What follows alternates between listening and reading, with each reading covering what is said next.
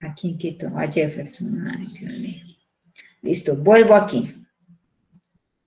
A más tardar empezando la mañana del martes debe de tener el trabajo, porque el martes de la próxima semana, listo, estamos acá.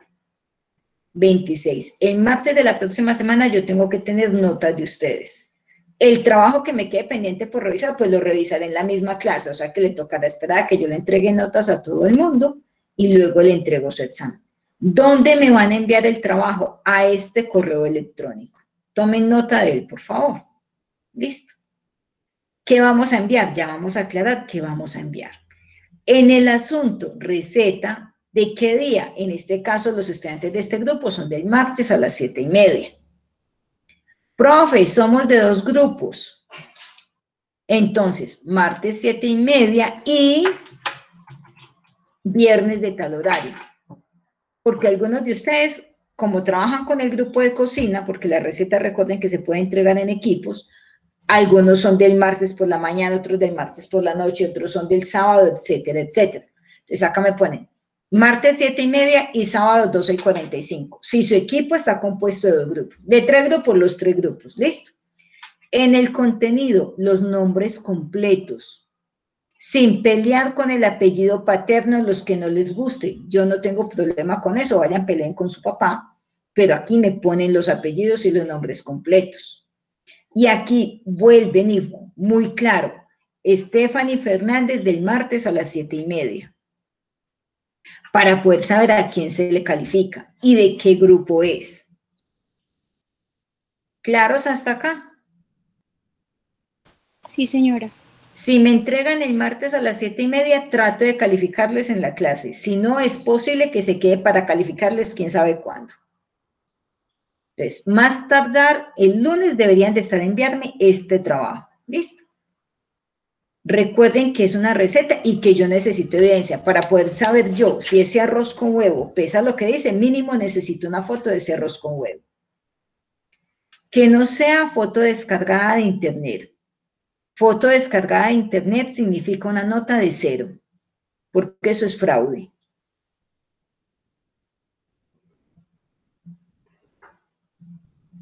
¿Claros con ese puntico?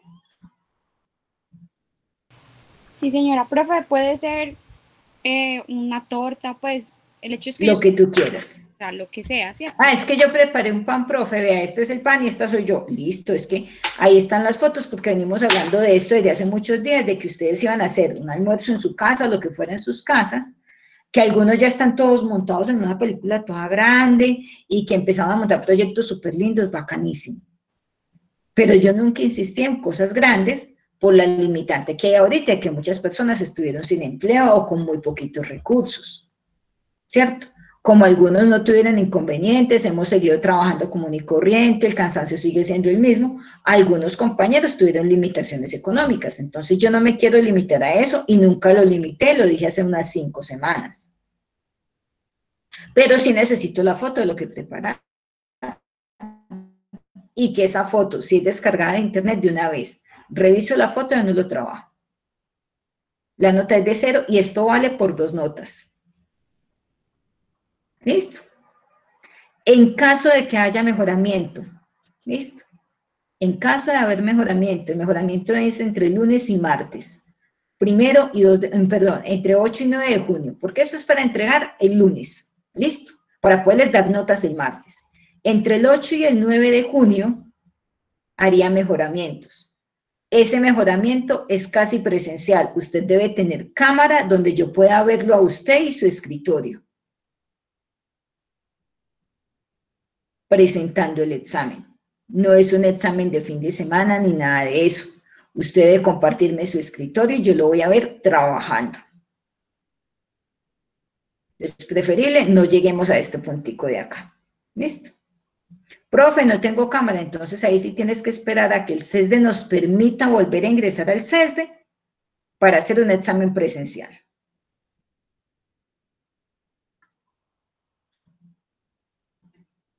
Listo. Ahora sí, vámonos con la receta. Los que la pudieron descargar, ¿ya la descargaron? Recuerden que la receta está en la semana 16 en académicos ESDE que les dije a los que ingresaron de primeritos. Listo. Semana 16, académicos ESDE, receta estándar en Excel 2020.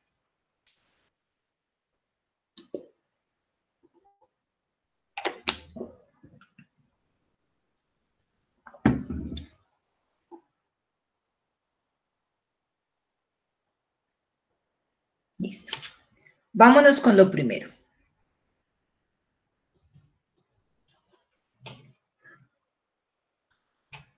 En la parte de abajo de este formato, entonces dice costos indirectos del servicio. Me miran un momentico y ya vuelven a abrir sus archivos, por favor. ¿Listo? Costos indirectos del servicio, mano de obra, receta 1, 2, 3, 4 y receta principal. Vamos a arrancar primero por las recetas, que es lo primero que uno entra a calcular. ¿Listo?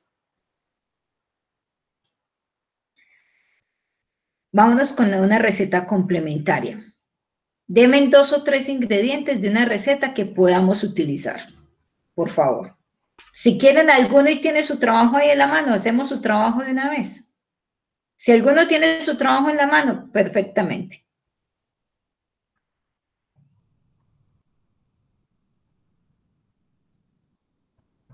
Profe, ya yo lo adelanté. Listo, dígame. Entonces, ¿Qué recetas tienes, ah, Ay. Mm, profe, lo que pasa es que yo lo tengo en mi computador. Yo, eh, Sebastián y yo nos pusimos de acuerdo para, preparar un pollo en salsa de pimentón. Dale, pero mi entonces no lo, solo lo tengo Alguien que lo tenga y que nos lo pueda compartir en este momentico, que nos puede ir diciendo qué ingredientes lleva y qué recetas son.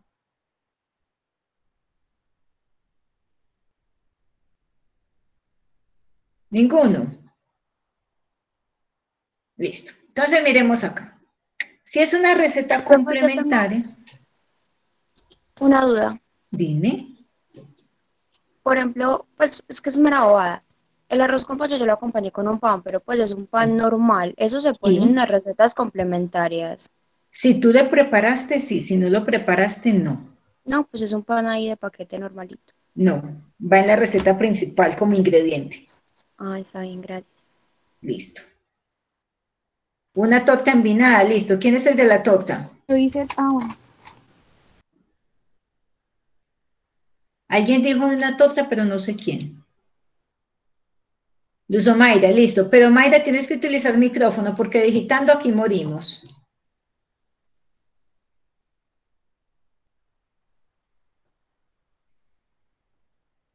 Bueno. Entonces tenemos la receta 3. Digamos que aquí, ¿qué había? Vamos a montar qué? Ustedes son de cocina, ¿cierto? La mayoría. Señora. Listo. Stephanie, un capón de auyama que lleva. O una de las recetas que hayan preparado por encima en estos días. O que hayan estudiado por lo menos la teoría. Listo. Aquí hay un acompañante. Listo. Nombre del acompañante claramente escrito. ¿Listo? Ingredientes. Miren que aquí hay un medio pastelito y ustedes me han visto diligenciando esto. ¿Listo?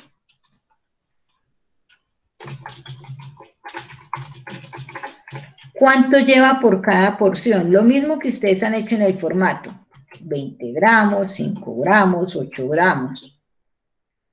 Es en mililitros, entonces le ponen mililitros. Si es en gramos, le ponen gramos. ¿De qué van a estar pendientes? Acá en el número de porciones. Ustedes ya me han visto diligenciar a mí esto n cantidad de veces. ¿Listo? Las porciones las vamos a cambiar siempre desde la receta principal. Entonces, si vamos a elaborar 20 porciones, la vamos a trabajar desde acá. Los de cocina, van a ponerle a esto 200. Los de cocina, los que vayan a preparar sopas, arroces, carnes, pescados, etcétera. Cremas, le van a poner 200 porciones. Van a si van a trabajar en equipo, si van a trabajar solos, le van a poner 50. ¿Listo? Si van a trabajar solos, 50. Si van a trabajar en equipo, 200. Vamos a trabajar solos 50 porciones y volvemos a la receta. sea que todo lo que vayamos a trabajar va a ser por 50. ¿Qué hay que llenar? Los ingredientes con sus cantidades por porción. Las mermas, si eso tiene mermas. El aceite creo que es el 5 y el azúcar también. El café instantáneo creo que no tiene. No tiene. Listo. ¿Sí tiene? No, pues. Listo. Entonces no hay que ponerle nada. ¿Qué más hay que llenar? Esta casillita. Listo. Presentación comercial. El aceite viene generalmente en litros, en galones. Y le ponemos el precio de compra. Y para de contar. Entonces, ¿qué más hay que diligenciar? Este pedacito. Lo que estoy colocando en rojo. No más. El aceite y la cantidad por porción, por porción para cada persona. Las mermas, si eso tiene mermas, la presentación comercial que la van a seleccionar. No es escribir, la seleccionan desde acá y el costo de compra. esto acá no combina, pues no un chance lo que hay en pantalla, pero no importa. Listo. Y miren que automáticamente les va a calcular la receta. Esto es un acompañante, ¿sí? A este café cambiémosle un poquito los ingredientes, pongamos acá leche. Leche, 50 mililitros, como para que esto sea un poquito más lógico. Este ml con este escrito en minúscula. Azúcar, café instantáneo 8 gramos. El instantáneo 8 gramos no es mucho, bueno. Si le gusta oscurito no es mucho. Litro de leche a 2.400 pesos. Azúcar de una libra, ¿cuánto vale una libra de azúcar? Por ahí 2.000 pesos. Y café instantáneo vale por ahí 8.000. Ahora, estos precios que hay acá tienen que ser reales. No son inventados. Ay, profe, es que yo tenía eso en mi casa. Te metes a una de las páginas de los supermercados y miras cuánto vale. Sirley, te, Stephanie, qué pena, te escucho. O Sirley, no sé cuál de las dos me estaba hablando. Stephanie, profe, te hago una pregunta. Eh, ¿se, le, ¿Se copia con puntos o sin puntos? Sin puntos. Mírame, te, te, vuelvo a copiar. Te voy a mostrar este 2400 que acá se ve con punto. ¿Listo? Sí, señor. Cuando yo escribo en Excel, mira el numerito como se escribe. Ah, ok, perfecto. Listo. Lo voy a disminuir de nuevo y voy a poner acá, vamos a poner la leche más cara del universo, a 25 mil pesos el litro. Listo. Mira que acá aparece con punto, pero cuando yo vengo y miro cómo lo escribí, Espérame, yo corro la lupa. Mira que está escrito sin puntos. Listo. Entonces, acá no se escribe nada con puntos. Y vamos a diligenciar solamente lo que yo estoy escribiendo acá en rojito. No toquen nada más. Listo. Devolvámosle el precio normal a una bolsa de leche y que esto es medianamente normal. Entonces, el acompañante va a ser un café. Listo. Receta 2. ¿Qué ponemos acá para acompañar esto?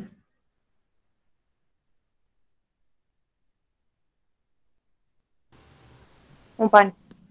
Un pan. Listo. Vamos a calcular un pan. Listo. Stephanie, que calculó de afán un pan, dame los ingredientes. Porque yo le hago un pancake, pero pan, pan, grave. Harina, levadura. Harina, levadura. Si tienen las mermas, colabórennos con las mermas ahí de afán, levadura. Eh, una pizca de sal, mantequilla. Sí. Y agua. Y agua. Listo. Aquí vamos a calcular un pan huepuchica. Cuando ya combinas este tipo de recetas con esto así, mira que para el pan hay que elaborar cantidad, entonces nos va a quedar un pan grandecito, ¿cierto? Entonces hablemos de acá, de que este pan lleva 25 gramos de harina, ¿sí? ¿Qué vamos a modificar? Lo que estoy colocando en rojito. Ya les voy a mostrar qué es, ¿sí? Esto es lo único que tenemos que tocar. Pan, esto es en gramos, ¿sí? Levadura. Eso no lleva tanta levadura. Cancelar. Listo. una pizca de sal. Entonces ahí ya podemos poner, ojo acá, y aclaro lo que Stephanie me preguntaba hace un momentito. Cuando ya es menos de un gramo, si uso decimales. ¿Listo? Si estos son gramos enteros, el 25A completico. Ves que esto acá ya no lo deja ver. Aquí arriba si no me deja ver tan grande. El 25A completico, el 1 va completico. Si lleva decimales, en los decimales, eh, menos de un gramo, si lleva decimales, listo. Mantequilla, eso es más o menos lo mismo de mantequilla. Y agua, digamos que eso lleva 5 mililitros de agua. Eso no lleva tanta agua, pero bueno, listo. Mermas. ¿La harina tiene merma? Sí, señora, 5%. El 5, la levadura, digamos que también tiene merma, la sal, la mantequilla, la merma que corresponda. Listo, la van a buscar. Esto, esto aquí sí ya está hecho a la carrera para efectos de la, la explicación. Miren que lo único que yo tengo que modificar es esto, miren. Si yo le pongo cero, miren que me deja el valor que es. Le pongo merma y el de una lo actualiza. Listo solamente van a escribir donde yo estoy escribiendo en rojo. Ahora, presentación comercial. Miren que aquí hay una,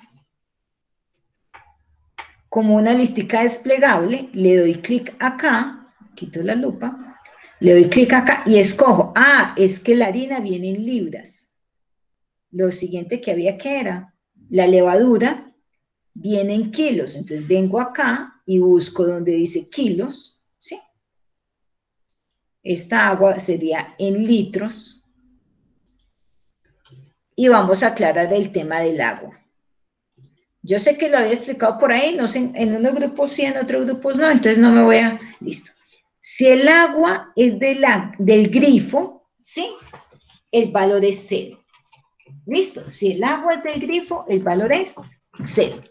Si el agua es agua mineral de botella, sí le vamos a poner el precio de la botella. ¿Listo? Sí, señora. Miren que aquí no hay que hacer nada más. El resto lo hace el sistema. Listo. ¿Algo más para acompañar a ese café? Otra complementaria.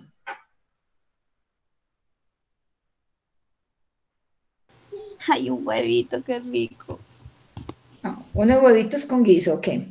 Ay, sí, bro, qué rico. O un par de huevos en cacerola, a uno por uno. Un minuto en alto, un minuto apagado. Ay, qué rico, tengo hambre. No, a mí me encantan. Yo hago mucho huevo en cacerola, me encanta. Pero en uno por uno, un minuto en alto, un minuto en apagado. A que no quede muy duro, pero que la yema quede en el punto que es. Ah, líquida. Ajá, huevos. Listo. Ahora, huevo. Si estamos hablando de huevos en cacerola, son huevos enteros. Como estamos llamando caprichos, entonces, ¿qué vamos a modificar? De nuevo, ingredientes y cantidad por porción. Vuelvo y pongo acá las mermas. Ah, me sirve este, este ejemplo para aclarar algo que decía una alumna esta semana. Listo. A mí me gustan de dos huevos. Unidad de medida. Entonces vengo y busco acá en la lista desplegable que me diga unidad. Listo. Merma. Entonces ahí aclaremos algo con las mermas. Si yo sé que van a hacer unos huevos en cacerola, le dame un segundo. Si sé que son unos huevos en cacerola, ¿eso tiene merma?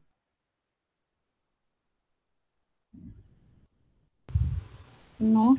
No, sí, yo ahora sí te escucho.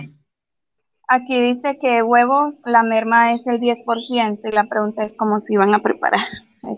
Listo. Entonces, son unos huevos en cacerola, Sirley. Vamos a ponerle a esto ya un poquito de sentido común. Ya no estamos en lo de la clase. Por eso esto lo dejo para lo último, porque aquí vamos a romper algunas normas. ¿Listo? Son huevos en cacerola. ¿Tienen merma, Sirley?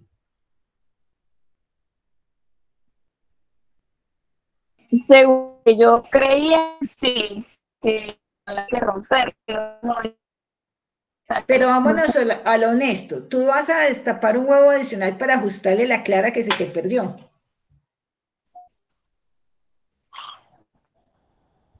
No entendí. Hola. Ya voy, Silly. Bueno. Huevos, como ve.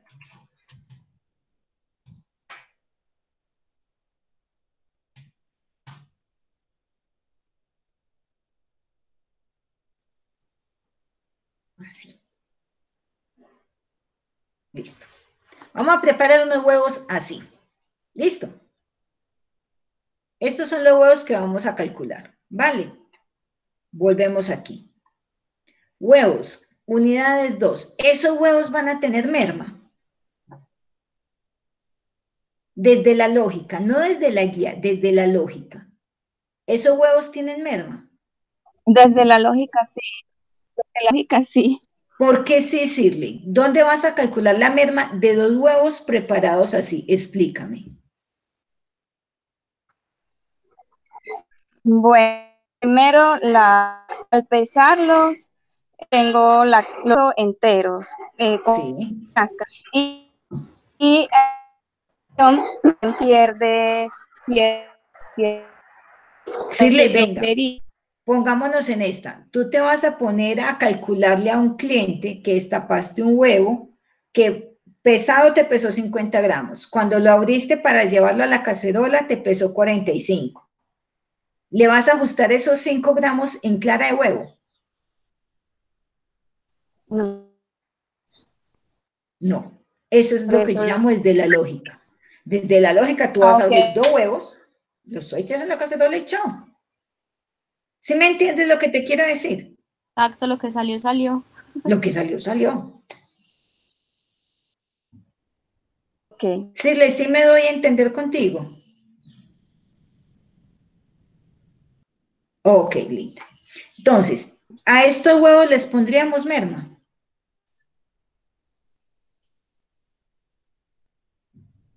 ¿Sí o no? No, profe. No. ¿Cierto? Entonces, merma cero. Ahora, presentación comercial. Unidades. Listo. Valor de la unidad, el huevo está como a 400 pesos la unidad, 450. Y chao. Miren que no tuve que modificar nada más. Listo. Aquí se va mantequilla, aceite, y ya la sal es otro cuento. Mantequilla, son más o menos, ¿qué? 5 gramos y 5 de aceite. Ahora sí, estas dos cosas sí tienen merma. Precio de la mantequilla, una libra de mantequilla, no sé, vale por ahí 8 mil pesos. No está más cara. Y un litro de aceite, depende del aceite que usen. ¿Sí? ¿Cuánto vale?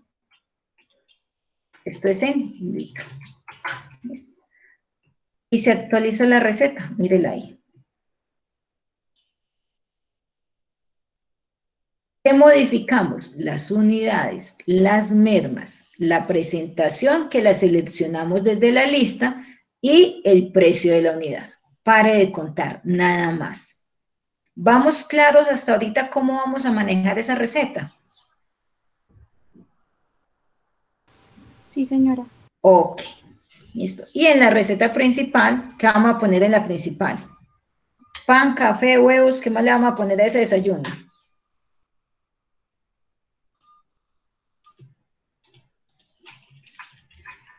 ¿Qué va a ser la principal de ese desayuno? Profe, la arepa con quesito, que es un desayuno. Listo. Ay, esto acá está muy paisano. Bueno, total, yo me esperaba más bien unos frijoles calentados o algo, pero bueno. Qué rico, con carnita. Ay, qué dicha. Ese es que no como carne, no ganas como de carne. Listo. Y vamos a aclarar en eso algo ahorita, y es, por ejemplo, acá, ingredientes, arepa. Listo. Las arepas que nosotros, normalmente nosotros compramos son de 100 gramos. Usted ahí puede mirarlo por unidad o por paquete, por gramaje. Ya depende usted cómo calcule eso. Si lo tiene por unidades es porque usted sabe cuánto vale una. No el paquete, sino cuánto vale una. porque acá no hay presentación para dividir el paquete en 5 o en 10. Tienes que saber exactamente cuánto vale una unidad. ¿Listo? Cantidad por porción, una. Unidad. ¿Listo? El paquete vale como 1200 y trae como 6 arepas. ¿Listo? Presentación comercial, aquí es unidad. Acá es 1200 dividido como 6. Vale cada una 200 pesos. ¿Listo? Eso tiene merma. Ahora vámonos a la real. Vamos a calcular ese desayuno. ¿Esa arepa tiene merma? ¿O le calcularíamos una merma más bien? No. No. Merma, cero. Listo. Vuelve y juega. Mantequilla. 5 gramos. Merma. Esa merma de la mantequilla que es que al momento de servir, en el cubierto con el que yo la aplique, siempre se va a quedar algo de mantequilla. Y en el recipiente donde esté también se va a quedar algo de mantequilla, ¿cierto? ¿Qué más lleva esto? Sal, por allá me decían quesito. Listo. Quesito. Cuajada. ¿Cuánto de quesito? ¿A mi estilo o al de ustedes? El suyo, profe. Mínimo 100 gramos. Pero pregunté. A mí me gusta, yo cuando voy, por ejemplo, a la cafetería del principal, que es donde venden desayuno, y yo, Ale, yo quiero unos huevitos revueltos con arepita, pero me da doble porción de quesito. Me dice, María, medio quesito, y yo, sí, medio quesito. Por eso dije yo, ¿a mi estilo o al de ustedes? La sal, ya ustedes juzgan si eso tiene o no tiene merma, quesito. Normalmente en el quesito, ¿yo qué hago o qué hacemos en un restaurante? Partimos eso en tantas porciones y pare de contar. Ya internamente puede que eso tenga merma, pero ¿qué hacemos nosotros? Porcionamos y ya. Ahora, el quesito no sé si en la guía tiene merma.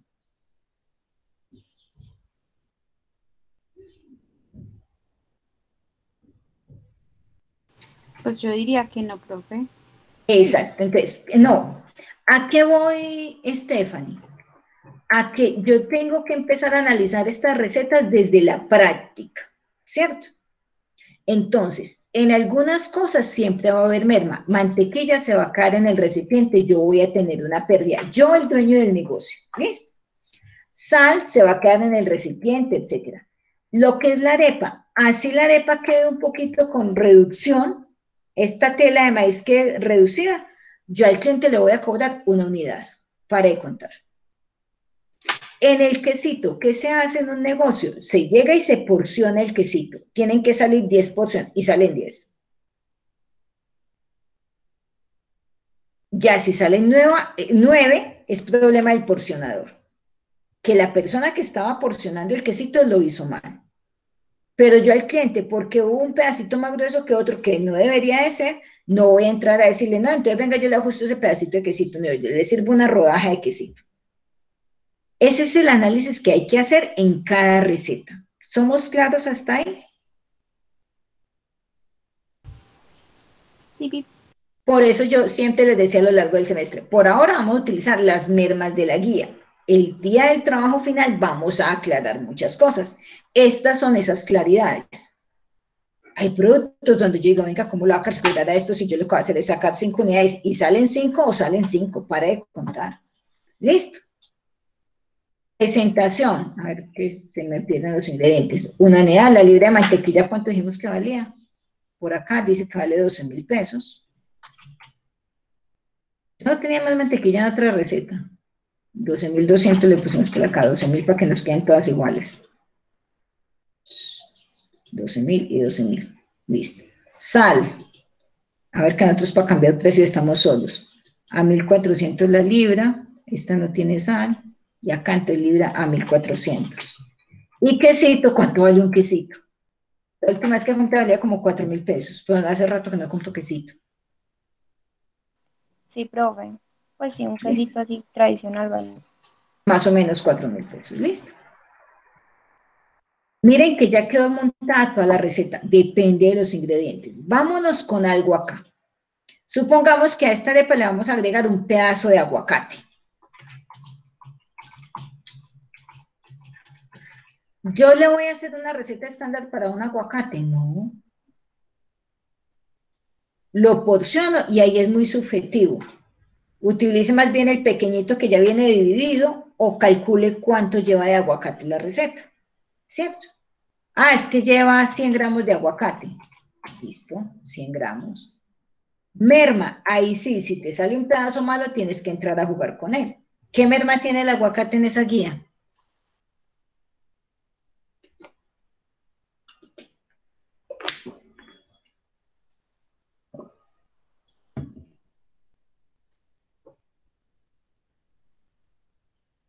Uy, se echaron a dormir todos. Tiene 25%, profe. Listo, 25%.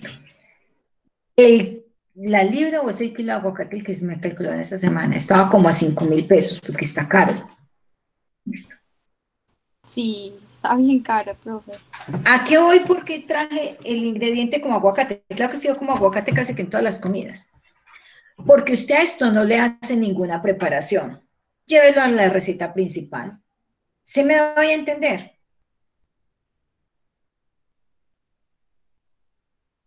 Y como aquí la cuestión es de hambre, vamos a agregarle a esto un pan de bono. Lo voy a comprar por unidades. Le voy a poner una unidad. Listo. Va a tener merma.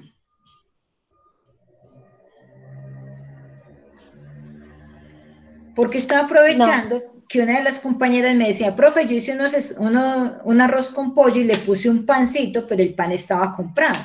Simplemente en la principal vas a agregar arroz, pollo, salchicha, eh, las especies que hayas utilizado, etcétera, etcétera. Y abajito pones pan, una unidad.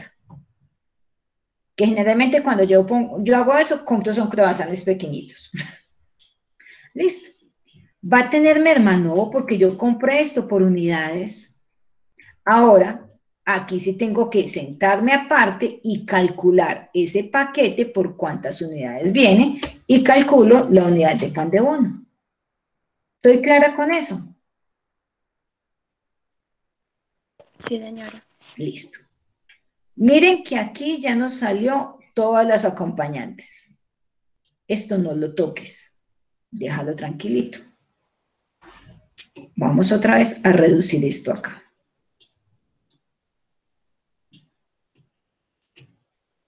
Listo. Él me va a decir el costo de la materia prima, la variación. ¿ah? Vámonos para la mano de obra directa. Ahora sí, vamos a modificar la mano de obra. Como pusimos 50 unidades, entonces yo supongo que ustedes van a trabajar solitos. Me vengo a mano de obra y le voy a decir que Mariana, aquí el nombre de ustedes completo, completico, Mariana Ortiz.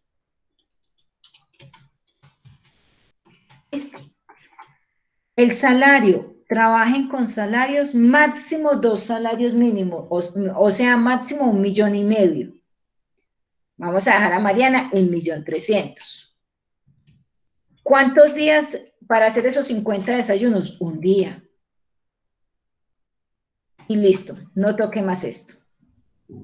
Miren que aquí ya parece que en un día ella va a hacer 50 platos.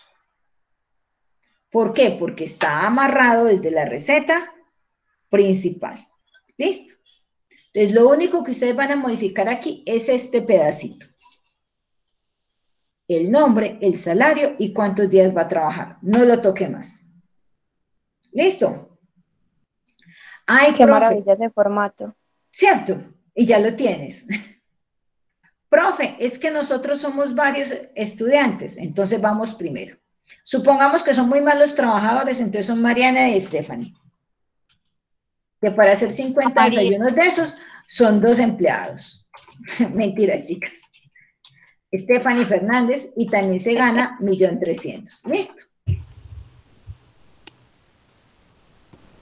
Y le pongo acá un día, Gustavo. ¿Listo?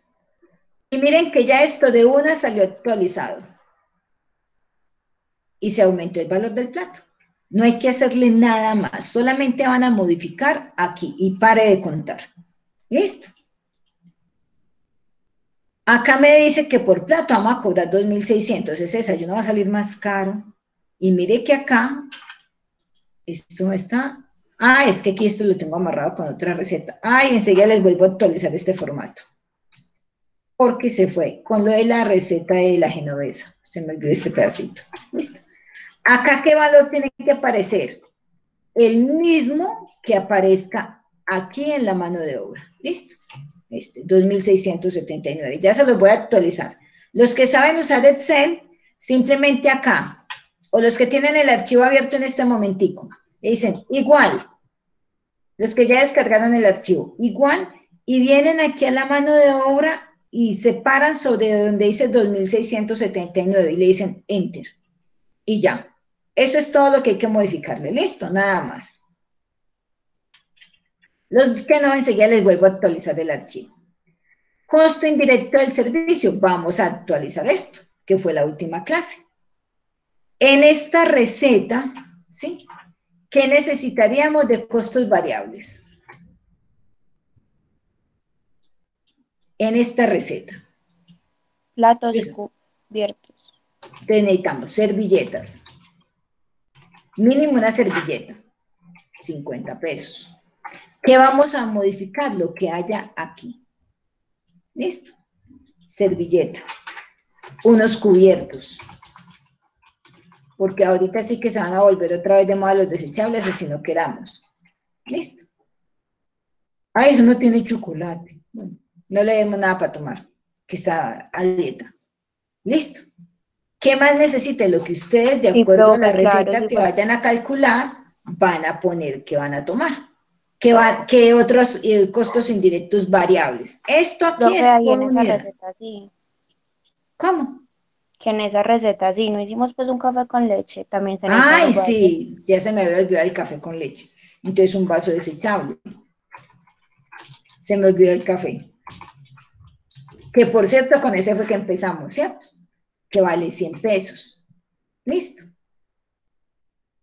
lo que ustedes necesiten en costos variables. Miren que aquí ya me trajo que eran 50 desayunos. Y él calcula solito. No le toques nada por acá. Lo único que van a modificar es este pedacito de acá. Listo. Y miren que él viene sumando ya. Nos vamos a los costos fijos. Acá le dejamos unos costos fijos amarrados. Pero ¿qué le vamos a poner acá? Un arrendamiento siempre calculen un arrendamiento, teniendo en cuenta que ustedes no viven ahí. Si ustedes viven, entonces partan el arrendamiento de su casa. Un arrendamiento del local, que mínimo son 800 a un millón de pesos. Unos servicios públicos, que generalmente, eso me lo enseñaron esta semana, son más o menos el 70% de lo que yo ponga de arrendamiento. ¿Listo? 800 mil y miren acá, esto sí hay que modificar. ¿Cuántos desayunos serían capaces? Si son 50 desayunos diarios, entonces calculemos esto de otra manera. Supongamos que son 50 desayunos diarios por 25 días. Son más o menos 1.300 desayunos al mes. El nivel de operación presupuestado sí lo tienen que calcular ustedes. ¿Listo? Y eso nos dice que van a ser 1396 y vuelvo y reviso la receta y eso me trae el valor. Ahora, todo esto se modifica solito. ¿Qué van a modificar ustedes? Este dático que está, ¿cuánto se quieren ganar? Como este desayuno está como costosito, muy costoso por cierto, vamos como en 12 mil pesos. Ahora, los de panadería. ¿Listo? ¿Por qué salió tan caro este desayuno? El pan, los huevos, a los huevos están costosos, el café. Y aquí, ¿qué más pasó? Ah, es que lleva mucho quesito, aguacate, pan de ona, bueno, ya sé por qué se hizo costoso. Y que la mano de obra se volvió muy costosa. ¿Qué van a empezar a mirar? No esa mano de obra, donde vendamos desayunos a ese precio, tenemos que tener un muy buen restaurante. Si estamos en un restaurante de combate, no podemos cobrar tanta mano de obra. Tenemos que bajarle los salarios a estas personas. Entonces vengo acá y miro, bueno, lo mínimo que se pueden ganar es 900 mil. Listo. Vengo y reviso. Ah, miren que baja un poquito el salario, el valor. Y empiezo a revisar esto acá. Listo. ¿Qué pueden modificar? Los salarios, pero teniendo en cuenta de que ustedes van a saber dónde ofrecer el producto y qué es lo que están ofreciendo. Para los que están trabajando arte dulce o panadería. Listo, dice acá, porcionar el producto. Listo. Simplemente acá donde está este 12, ah, es que esto era por, por unidades, entonces lo entro a porcionar no son de arte dulce, esto no lo tocan para nada. ¿Listo? De arte dulce o panadería. Si el producto a trabajar es de arte dulce o panadería, entran a modificar acá porque recuerden, si es arte dulce o panadería, aquí solamente se pone uno. Y en este uno todo se va a modificar. ¿Listo? Y ahí entramos a decir, ah, no, es que es como eso era una sola unidad, ah, de eso salen 25 porciones. Y modifico las porciones. Si no somos de arte dulce, ese dático de ahí no lo tocamos y para de contar. Y acá nos dice que la carta va a calcular eso de acuerdo a las porciones, a los ingredientes que sean listos. Vamos a dejarlo en 50 porque lo que veníamos calculando era un desayuno. ¿Listo, chicos? Señora. O sea que, por ejemplo, yo que hice una torta, ahí sí le entraría a porcionar, ¿cierto? Ahí sí le entraría a porcionar, sí, señora. Listo. ¿Le subo este archivo así diligenciado como está o le subo uno sin diligenciar? No, profe, así está bien, pero sería bien con la corrección que tocó hacer ahorita, por favor. Listo, entonces se lo subo así diligenciado. Sí. Listo, ya mismo se los guardo. Como ya para tener referencia bien de qué se puede mover. Exacto, exacto. Por eso les preguntaba que si se los guardo así diligenciado. Bueno, voy a entrar acá. Señora.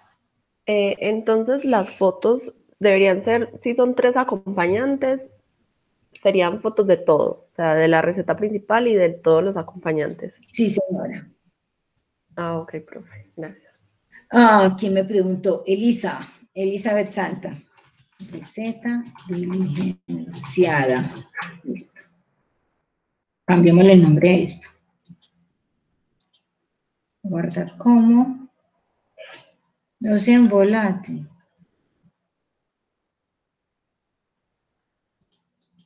Receta alumno 2020.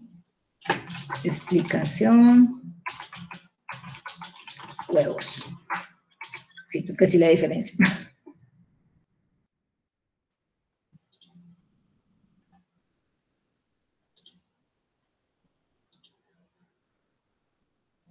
Se perdió. Vale aquí.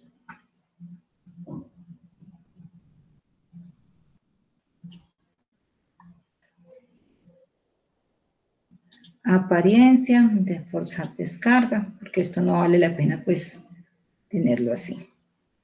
Listo. Y acá modifiquemos esto.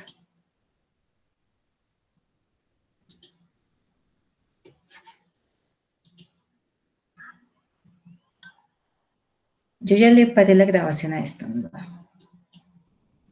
Ah, yo para esta grabación. Listo, dejemos esto hasta aquí y ya entro a resolver alguna duda que tenga.